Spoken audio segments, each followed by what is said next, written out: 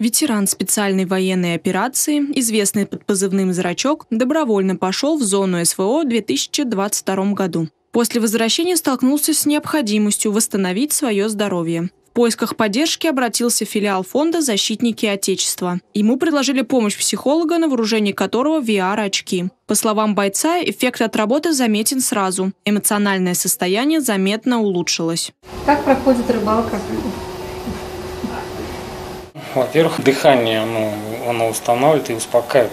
Ну, как бы внутреннее ощущение спокойствия у тебя внутри. Ну, когда ты дышишь ровно, спокойно и как бы умиротворение внутри. Это помогает. Поэтому я буду приходить еще. Каждая сессия с VR-очками длится около 25 минут. В процессе тренировки фиксируется текущее дыхание пользователя и даются рекомендации по его коррекции. Психологи внимательно следят за изменениями, что позволяет сразу почувствовать эффект. Все, как правило, на это очень активно реагируют, всем нравится.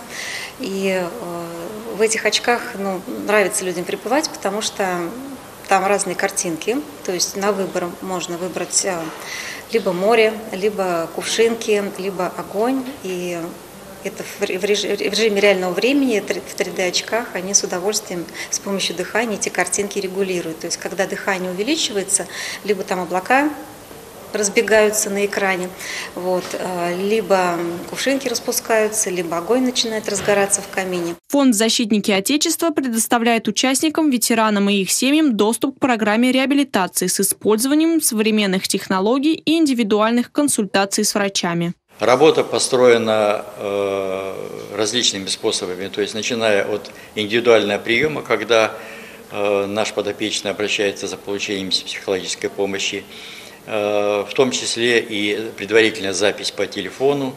Это в рамках проведения телемедицинских консультаций, ну и ряд других способов.